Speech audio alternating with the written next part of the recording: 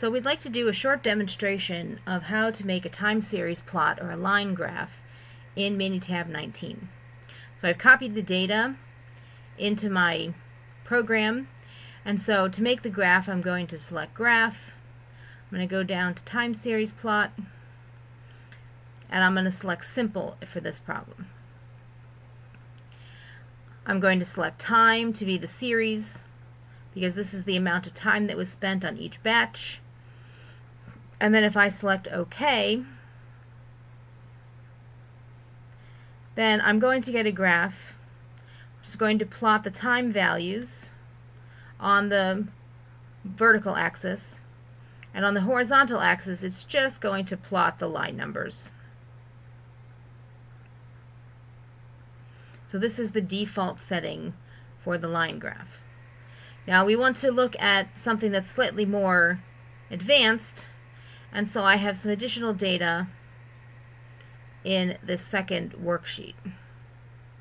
So if we can just look at this data for a second, this is crime statistics. We have the year, we have population, and we have various types of criminal activities that were recorded by police and the FBI. And so what we'd like to do is we'd like to plot some of these. So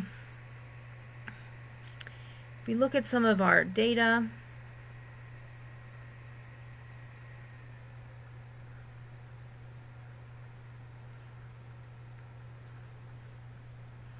what we'd like to be able to do is we would like to be able to plot the crime statistics. Maybe we'll do murder and on non-negligent manslaughter. Um, and we'd like to plot on the horizontal axis not just the counts, the line numbers, we'd like to plot years. So again, we're going to go back to graph and we're going to select time series plot.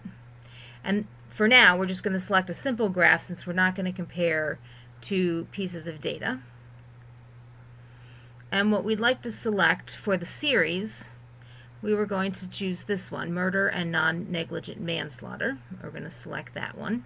So that will replace our series. And then we want to do time scale. Now, our horizontal axis is going to be a year. So we're going to select calendar and then year. And we're going to put down here the number of the year that we're starting with, which in our data set is 1960. If we want to skip values, maybe we only have data for every five years, then we can put an increment down here. But if we leave it blank, it will go by one at a time, which is fine for us. And if we select OK, and then OK again,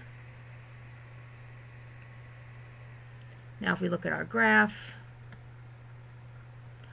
we can see now that on the horizontal axis we have our years plotted instead of just the line numbers and we have our nice line graph.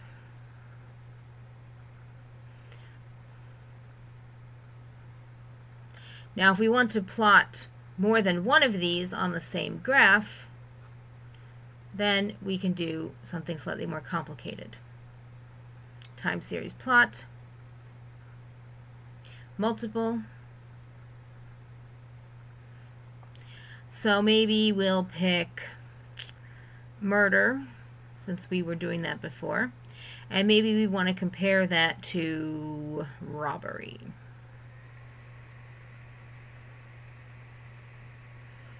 We'll just check our horizontal axis. So we're going to go back to calendar, year, starting in 1960. And then we're going to select OK.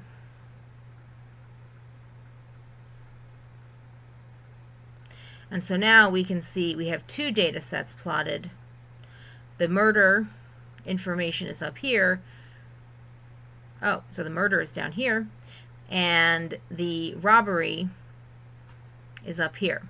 So you can see we we had a great deal more detail on the murder before, but on the scale of the robbery numbers, all that detail is kind of washed out because there's a lot more robberies than there were um, murders.